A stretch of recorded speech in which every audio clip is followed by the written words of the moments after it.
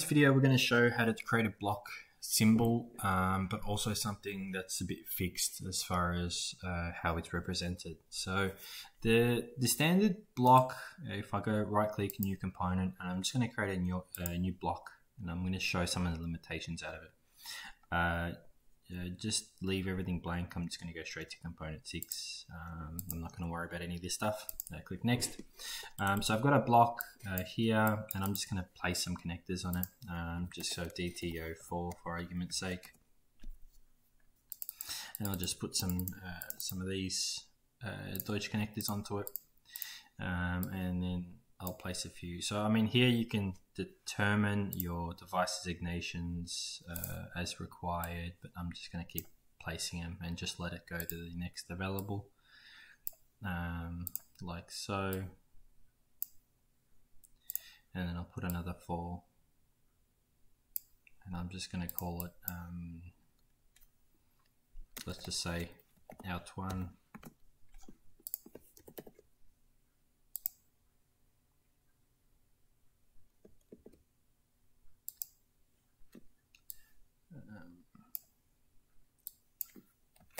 two. And I'm just placing them in this sort of an order, but it doesn't really matter. So assuming that we've got in and out one, two, and three, but again, it really doesn't really matter. Depends what you want to call it, etc. So I've got four and I've got the block, so then I can go right click save the database. So in my project, um, currently there's no, and I'm just going to refresh my database by pressing F5. And then we got a new component six. So E3 will automatically place it. Oops, sorry. If I go right click, place with connectors, uh, it's automatically place it in a in a funny way, I guess, or in whatever way. If I had more than that connectors, uh, more than um, 12, it starts to get really messy anyway. So, I mean, even still, it's pretty bad. So, you know, normally you're going to have to expand it or, or want to expand it. Uh, and I'm just going to place them up here um, as required. So we've got, and now this is a good example where I've got my out one, two, three, and I want these. So I want these J's to be on my right and my outs to be here. Um, and I want them all squished in. And then you can see pretty quickly that I'm running, well, it's getting pretty messy and pretty hard to read. So uh, same as this stuff, I can move these. Um, oops, these two are uh, locked. I can go right click text properties and I can get rid of the lock so I can move it. And I can move these just here for now. Um, so I'm just going to call it um, um, whatever. I'm going to call it unit. Um, and then I'm going to change these text size. So if I go select everything, I'm just going to make life easy and go text properties, uh, unlock it while I'm at it. And I'm going to change it to, I don't know, 1.8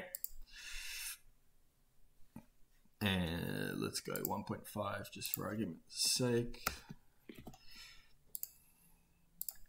And you can see it's, it's making a bit more sense now. So um, what I'll want, I'll zoom in a bit more.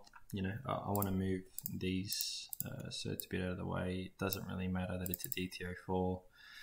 Realistically, um, I mean, I already know that the first is DT04, so if I wanted to, I can delete these. Um,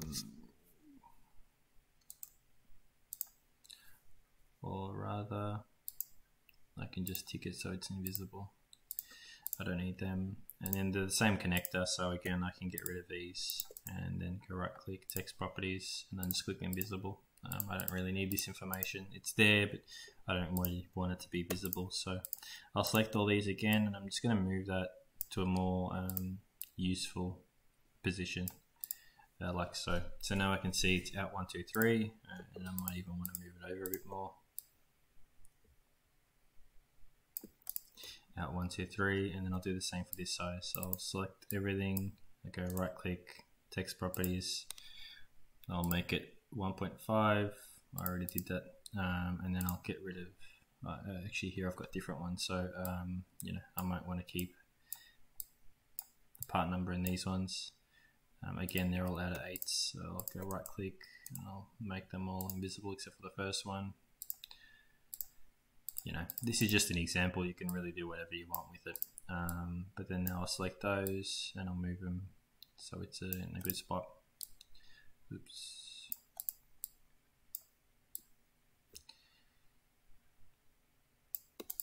Okay, so J123, 4, fantastic. Uh, you know, these two now, I want to move it um, here, you know, and that could be the, co the, component code. Again, if you don't need the component code, it doesn't really matter.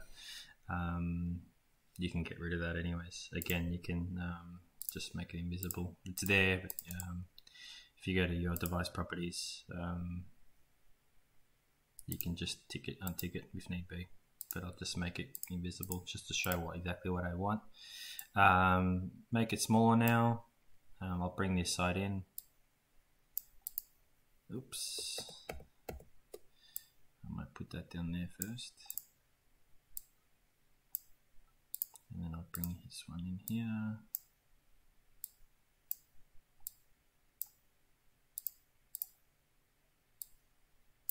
All right, so I've got something I'm happy with. Uh, this is exactly what I want. So I guess from the first one, um, you know, when I bring it in, it brings it like that, which is pretty useless. Uh, you've got this one here now. So I can select everything, go File, Export, Drawing. and I'm just put it in the, the desktop and I'm going to call it just unit. Um, and we'll go from there. So in my database editor now, I can go right click anywhere, new component, and I'm just going to call it a subcircuit. Um, just you can give it a name and obviously your um, uh, whatever else and your attributes, etc. But I'm going to leave it blank.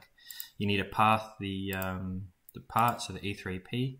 Select that one there, and then it'll show you a, a representation of, of what it looks like, and then you just save the database. So now here I can just press F5 again, and it's just going to come down the bottom because I've got no attributes attached to it. And then new component 7.